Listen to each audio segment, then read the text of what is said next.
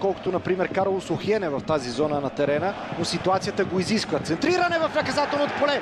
За малко да си отбележи автогол на Пламен Крачунов в тази ситуация. Тук дали не е отсъдна Дуспа Залевски а, по изражението на футболистите на Арда. Точно това, може би, е решението на главния съдия Владимир Вълков. Ето тук Крачунов максимално затрудни Анатолий Господинов. След това в опит да достигне до топката събори Мустафа Сангаре. Две ситуации последователни, които дойдоха след грешка на Пламен Крачунов.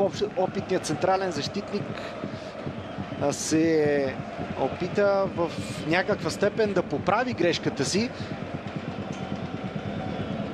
но се получи доста по-тежко. Тук направи каквото можа Крачунов да пресече подаването за Сангаре. Точно зад гърба му бе централният нападател на сините и бъде изпълнител на тази дуспа. Между другото, първи наказателен удар за Левски от началото на сезона. Но доста дълго чакаха в сините фенове. Сега обаче той е отсъден. Александър Колев, удар към вратата, 1-0 за Левски в 12-та минута.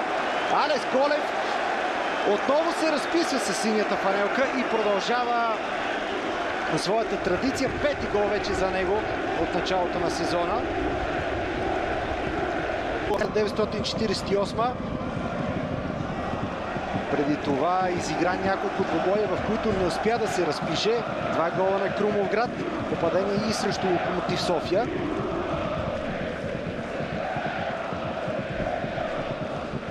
Още веднъж изпълнението на Александър Колев с левия крак. Много точно изпълнение, премерено и като сила.